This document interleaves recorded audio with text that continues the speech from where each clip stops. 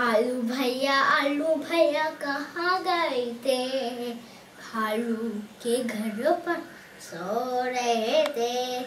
भालू ने मारा रो रहे थे। आलू भैया आलू भैया कहाँ गए थे? भालू के घर पर सो रहे थे। भालू ने मारा रो रहे थे आलू भैया आलू भैया कहाँ गए थे? भालू के घर पर सो रहे थे। भालू ने मारा, रो रहे थे।